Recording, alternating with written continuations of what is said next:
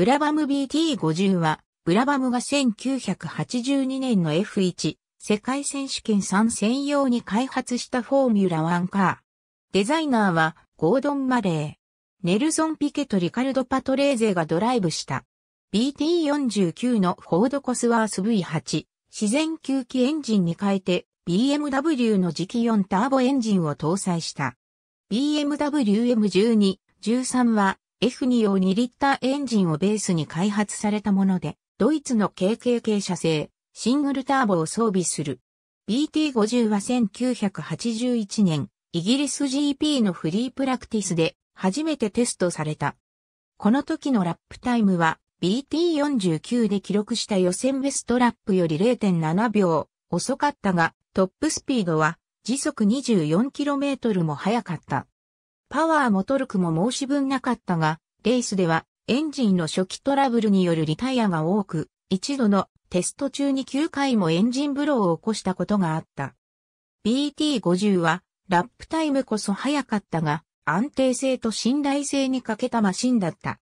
カーボンパネルで強化されたアルミモノコックやインボードの前後プルロットサスペンションなど多くの部分で BT49 を踏襲していたが、なエンジン用マシンだった BT49 の進化型では、ビッグトルクハイパワーの BMW エンジンにはダウンホースも強度も不足していた。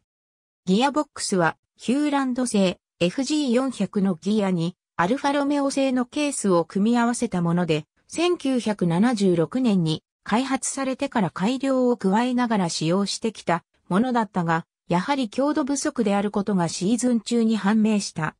1982年は開幕戦から使用されたが、2台とも早々にリタイアし、第2、3戦はコスワースエンジンを搭載する BT49D が使用された。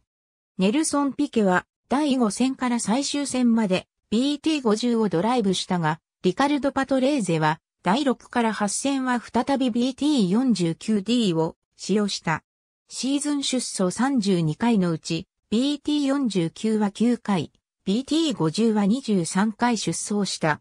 ピケは第7戦デトロイト GP で予選落ちし、1週間後のカナダ GP で優勝した。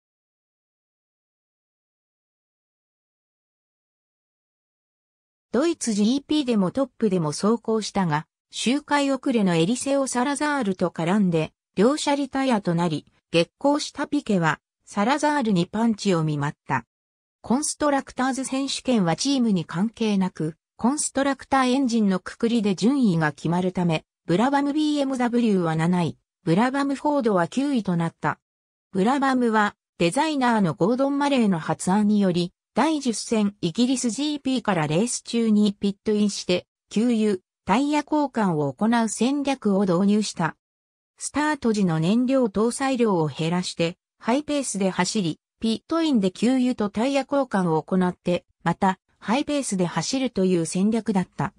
この戦略によって、BMW エンジンの燃費の悪さを補い、終始、ハイペースで走ることができた。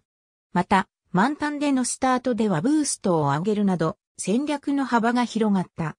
ピット作業の時間を短縮するため、BT50 には3本のエアジャッキが装備され、ピットには高速インパクトレンチや高圧給油装置が用意された。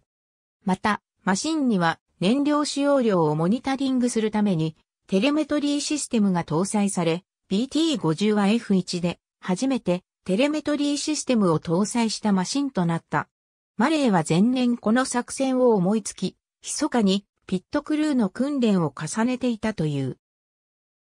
初導入となったイギリス GP ではトラブルで2台ともリタイアしたが、ピケがリタイア直前にピットインをテストした。